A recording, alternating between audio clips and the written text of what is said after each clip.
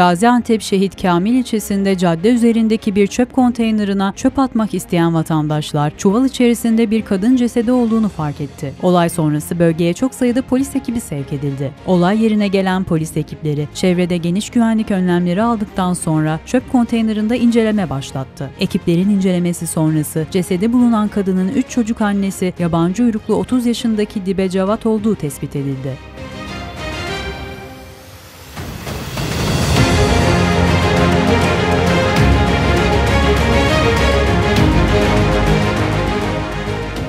30 yaşındaki Dibe Cevat'ın yaşanan tartışma sonrası kocası tarafından evde öldürüldükten sonra çuvala konularak çöp konteynerine atıldığı belirlendi. Katil zanlısı kocanın cinayet sonrası battaniyeye sarıp çuvala koyduğu cesedi çöp konteynerine götürme anları ise çevredeki bir güvenlik kamerasına saniye saniye yansıdı. Kadının kocası Abdome isimli şahıs gözaltına alındı. Gözaltına alınan şahsın emniyetteki işlemlerinin sürdüğü öğrenildi.